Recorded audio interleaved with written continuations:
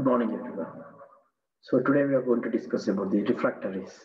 What are refractories? What are the classification of the refractories and the important properties of the refractories and the different types of the refractories with examples we are going to see today. Definition. So generally, these refractories are, they are the non-metallic materials. They are not the metallic materials, but their physical properties and then chemical properties are going to be completely different to that of the, the existing, the constituents which you are going to consider in case of these, the refractory materials. So they are the non-metallic materials which can withstand the high temperature. So generally, more than 600 degrees of temperature we will be using these refractories for different purpose. Here, these refractories, they can retain the strength at high temperatures. And even the according to the ASTM C71, it, the definition for the refractories is, is the, nothing but these, the non-metallic materials which are having those, the different chemical and the physical properties which are made useful for the different types of the, the important applications and also the structures also studied, okay, which can withstand a temperature above the 1000 degree Fahrenheit. Or you can, it's also given here, we can study, we can see this, the 800 Kelvin or the 500 degrees of the temperature also can be used. So these are the refractory materials which can withstand the high temperatures, okay? And these materials, they are chemically and also, also physically stable and then chemically inert also at high, high temperatures. The refractory materials we can use uh, for different types of the chemical reactions okay in many chemical reactions we can make use of them so that the chemicals like acids or the bases or the alkali or any other concentrated substances if we are using if we are considering on the refractory material also it will remain unaffected where even the physically also it can withstand the high temperatures okay physical properties are also going to be very good with respect to these refractory materials and if you consider the the different types of the, the metal metallic elements like oxides of alumina oxides of silica. Okay, silicon dioxide is nothing but a silica. Okay, and the magnesium or the magnesium oxides, generally they are the most important materials which we are going to use in the manufacturing of the refractory materials. So the refractories are the non-metallic materials which consists of the metallic substances which consists of the oxides of the metals here. So the oxides of different types of the metals like aluminum, magnesium, silicon, silicon, such type of metals will be using in the manufacturing of these the refractory materials. And in order to, these refractories are widely used. Again, the important uh, uh, applications of the components of the refractory materials are widely used in our day-to-day -day life. In industries or in the chemical or the pharma industries, we are going to use these, the refractory materials widely. And in order to behave like an ideal or in order to act as a very good refractory material, okay, it should possess certain characteristics. So what are the important characteristics of these, the refractory materials that we'll discuss now? So different types of the characteristics are there. First one is it should be resistant towards the heat. So it means, as we have seen the definition, it should have the withstanding temperature was more than 1000 Fahrenheit degrees or the more than 600 degrees of temperature also it can withstand. So such type of material is said to be a, a very good refractory material. That is first one is with respect to the heat. Second one is resistance against corrosion. So these materials, they are they are resistant, they are going to be resistive. Uh, they are going to have the very good the resistance property with respect to the corrosion property. Corrosion means nothing but the destruction, deterioration or dis disintegration or the decay of the solid when they are in contact with the environment. So to these materials, they are going to be have the, the very good resistance property when you compared to the, the that of the other uh, the non-metallic materials. So here, this the good refractory it should be resistant towards the corrosion and also the heat also. And then these fusion temperatures should be high in case of the refractory materials. Whatever the refractories, maybe the acidic refractories or the basic or the neutral or the different types of the refractory materials, they should have the high fusion temperature. Okay, fusion means nothing but the combining property, whereas a fission is nothing but the dividing or splitting or separating is nothing but fission, whereas the fusion is combining. Okay.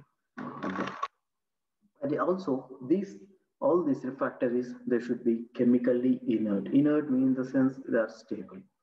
They should be uh, towards the acids, towards the chemical substances, towards the basic substances, towards the alkali substances, or whatever the different types of the chemical substances that we are considering on the, the surface of this refractory material, they should, they should withstand, they should be stable towards that material, should not undergo any sort of chemical reactions with that of the chemicals which you are considering on the surface of these, or when they are in contact with these chemical substances. So the refractory materials should be chemically inert. They should be chemically stable. Okay, that is also one of the important property with respect to the a good refractory material. And then this refractory material should not undergo any deformation, any changes with respect to the physical or the chemical properties of that particular compound or the components or the materials should not take place. Means the certain if you are heating, it should not um, deform or should not the size of the size or the shape of the refractory material should be same. It should not change. It should not change or the the bondings with respect to these refractory materials should should be inert.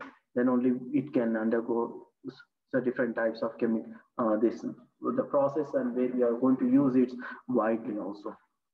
They should not undergo any deformation any changes with respect to the shape or its structure or if not with respect to its composition also so that is also one of the important characteristics you know, to behave like a, a good refractory material.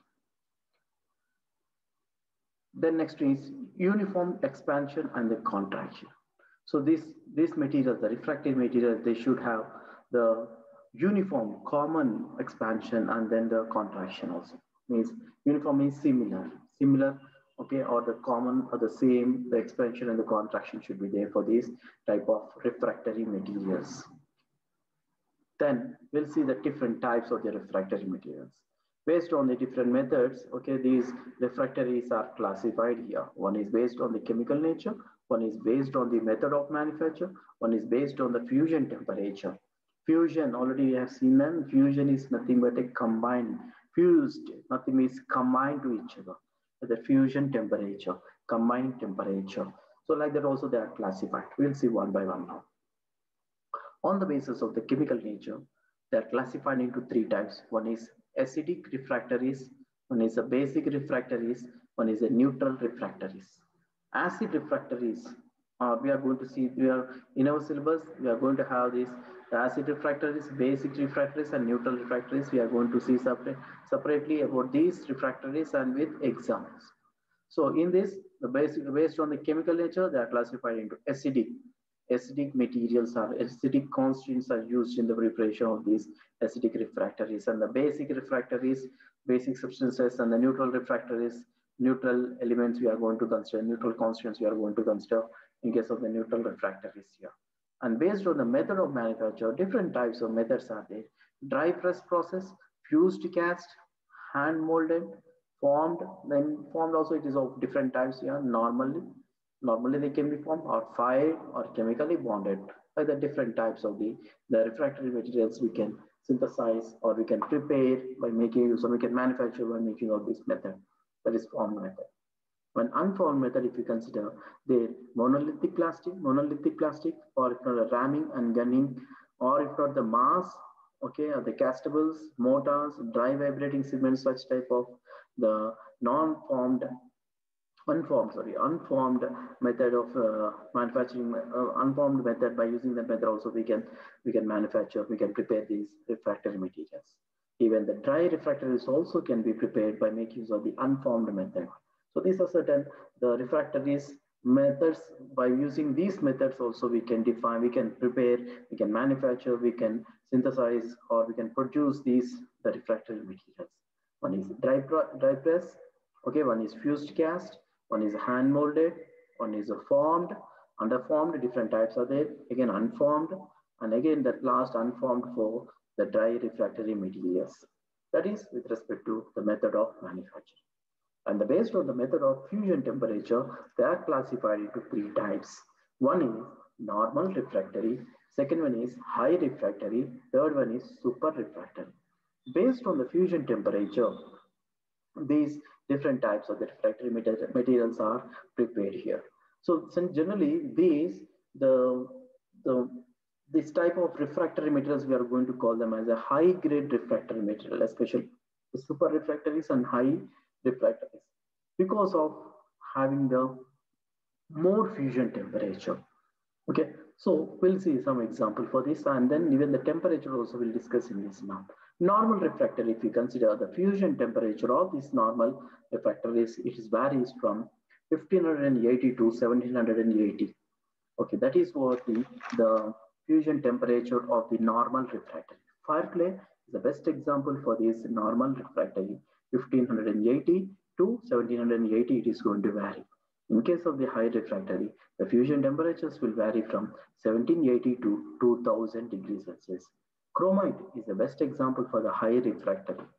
Whereas in case of the super refractory, zirconia, it is a refractory uh, which is called as a super refractory, which is going to withstand, okay, the fusion temperatures will be almost 2000 degree, more than 2000 degrees of the temperature it can withstand. That is one of the, the very good properties of this, the the super refractory materials.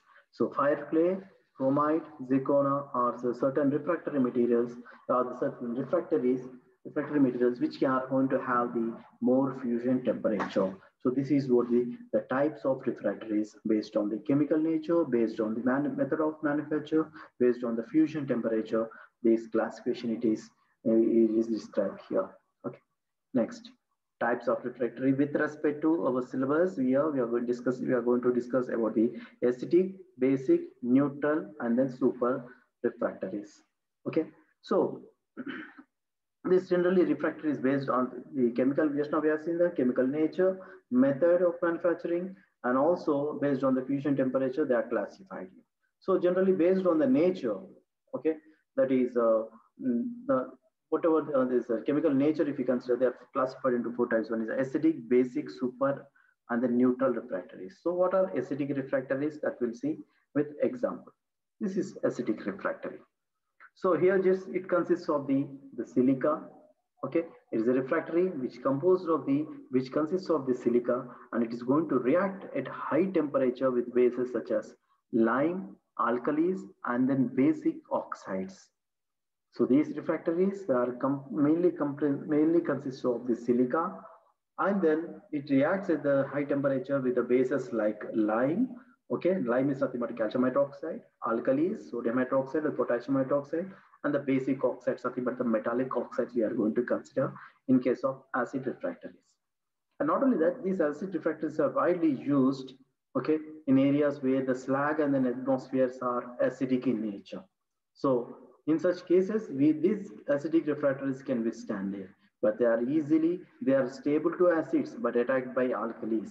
So these are nothing but the acidic refractories, which are with respect to the acids only it can withstand, but with the alkalis, if they interact with them, then it is going to form a chemical uh, the reaction there. So these refractory materials are acidic are with respect to the, the acidic nature of these, they are going to possess this acidic nature but it consists of the it consists of the, the different types of components or the constituents like silica, alkali, lime, and the basic oxides. We are using them in the in the manufacturing or in the the preparation process.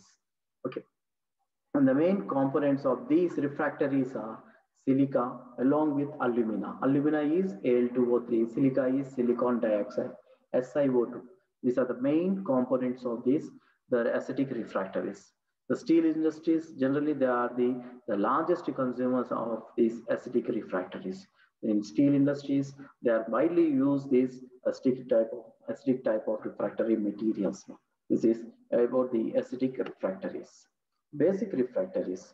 Generally, these are the areas where the slags and the atmospheres are basic. There it is acidic, here it is basic. And they are stable towards alkali, but reacts with acids. So the acidic substances can easily react with the basic refractories. Whereas the basic refractories, basic materials like uh, alkalis, they can in easily interact with the acid refractories. So in case of the basic refractories, they are they, they are withstand, they can they are stable towards the alkaline materials, but reacts with the acids here. That is what the basic refractories. And the main raw materials which are used in the manufacturing of these basic refractories are magnesia. In case of the acidic, silica, and then alumina, Al2O3, SiO2, and certain basic oxides we used in the manufacturing of the acidic refractories. But whereas in case of the basic refractories, we are using magnesia, that is MgO, which is one of the, a common example for this includes the dolomite mark, where the magnesium oxide is a raw material, and the certain examples for this basic are nothing but the, the dolomite, and then chromomagnesia, nothing but Cr2O3 plus MgO, and in case of the dolomite, MgCO3 plus CaCO2, magnesium carbonate, and then calcium carbonate. So the combination of magnesium carbonate and calcium carbonate, it is going to form this dolomite here. And whereas the chromo, chrome, the magnesia, if you consider, it is going to contain the Cr2O3 plus MgO. So these are the, the certain examples for the basic refractory materials. The next, third one is the neutral refractories.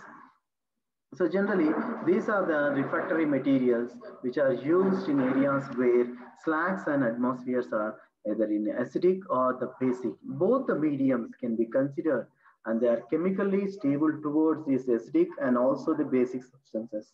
So even with these particular, the neutral materials, neutral refractory materials, they can withstand, they can be stable towards the acids, they can be stable towards the bases also. And in case of these, uh, acidic, they are stable only with respect to acids. In case of bases, they are stable only with respect to the basic substances. But, the, but bases, basic refractories are easily attacked by the acid substances. Acid refractories are can undergo the reaction with the alkalis or the basic substances. But in case of the neutral refractories, they are stable towards the both acids and the bases. And the, some common, common examples for this are the alumina, Al2O3, chrome, that is Cr2O3, and carbon. These are the three examples with respect to the neutral refractories. So we can use these type of neutral refractory materials, okay? Both uh, acidic and the basic substances are combined in this, and uh, we can use them as a neutral bricks to avoid this, the chemical interaction there. So generally, the neutral bricks, if you consider the neutral, nothing but the neutral refractory materials are mainly made up of the graphite, graphite, it consists of the carbon as a chief constituent and then chromites. So the neutral bricks are made of graphite and then chromite. This is about the, the neutral refractories. Super refractories. Super refractories, generally they are, um, they are going to withstand and going to have the temperature more than 800, 1800 degrees of temperature and then more than that, the fusion temperature will be there for this, right? So here, these super refractories are the, the refractory materials with respect to the fusion temperature, these are classified and they are widely used and they can also called as a high grade refractory materials also because of this, its exceptional high temperature, which is um, more than greater than 1800 degrees of temperature. So they are manufactured for certain exceptional, the high temperature purpose itself. So zirconia is the best example, ZrO2. Okay, ZrO2 is a best example for the super refractories whose melting temperature is almost 2342 2550 degrees Celsius. Similarly, the thoria ThO2, thoria, its melting temperature is the 3200 degrees of temperature. See, that is what the high temperatures okay the 18 the 2300 2500 3200 they are the high fusion temperatures or the high withstanding temperature of these super refractories. Most of the industries people they will be preferring these super refractories and some people they will be preferring high refractories also. High fusion temperature refractories also they will be preferring in the industries.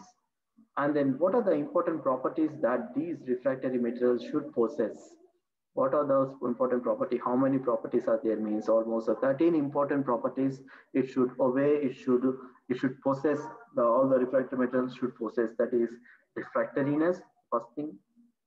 Strength or the refractoriness even uh, under the load and the dimensional stability chemical inert inertness thermal expansion okay and then thermal conductivity porosity thermal spalling resistance to abrasion or the corrosion electrical conductivity, heat capacity, texture, permeability.